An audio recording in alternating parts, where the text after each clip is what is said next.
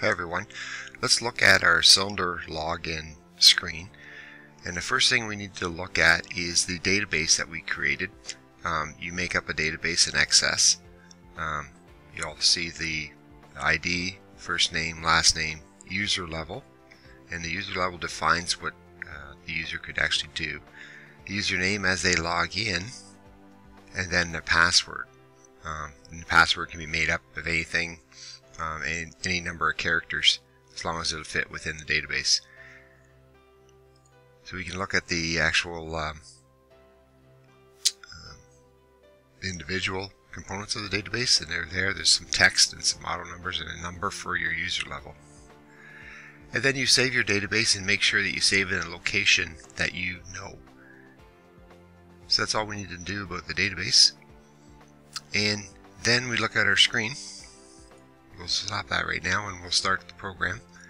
And the first thing we do is down here is we actually write the uh, uh, reset for the jog so it doesn't allow anyone to uh, jog.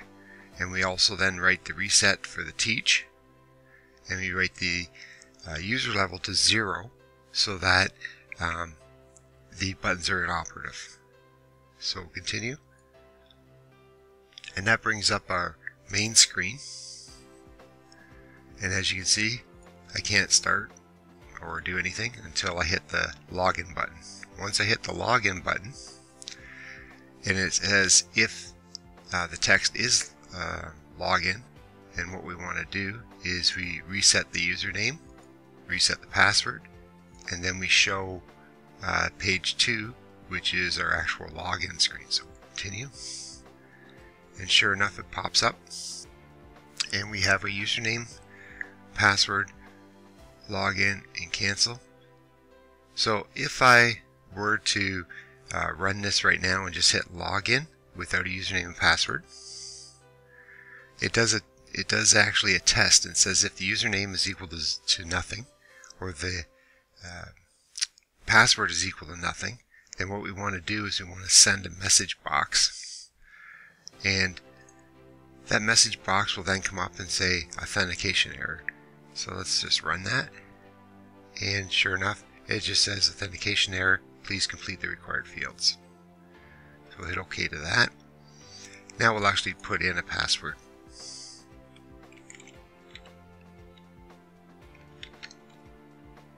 And we'll log in. Now it looks at it and those validations are good now. So now we try to connect to our database. We have our connection string.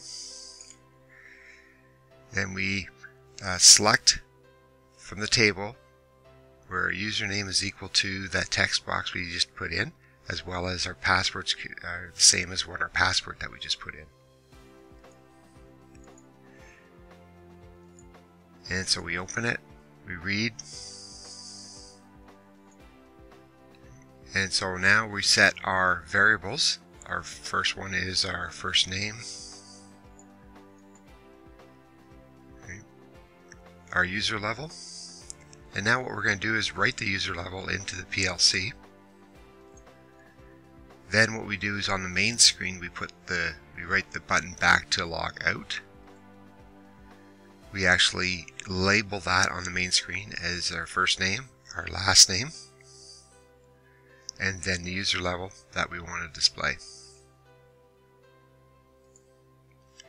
Then we dis or we set the momentary button 1, which is our start button, to true. Then what we do is we test for the level for that user. So if it's level 3, which it isn't, level 2, which it isn't, but it is level 1.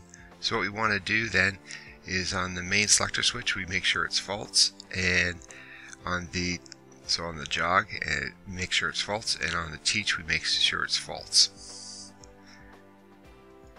Next thing we do is we will then uh, show the main screen, and we will hide the login screen.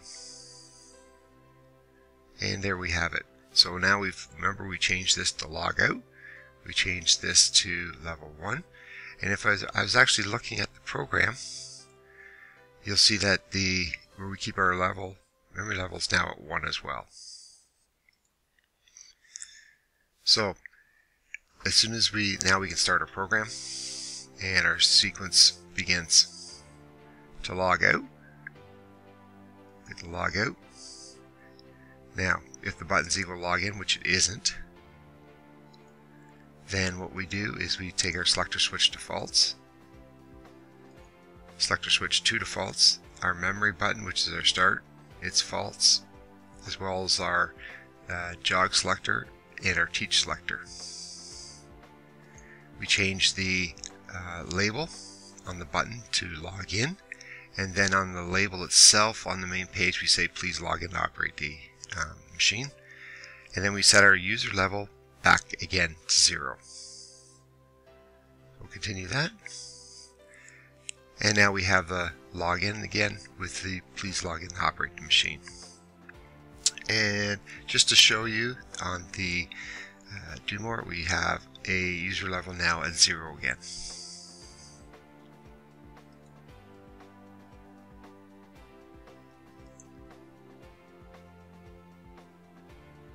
So that's it. Thanks for watching. And for a full printout of the, uh, the PLC program as well as the HMI, visit our website at www.accautomation.ca where you can also download the programs that you're seeing right now.